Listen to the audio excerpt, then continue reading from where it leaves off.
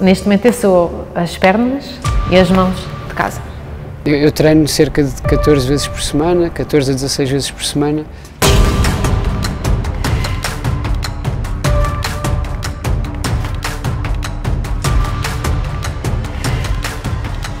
Aquela hora é o meu momento.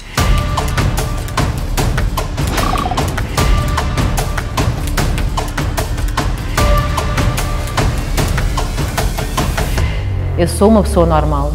Eu tenho saúde.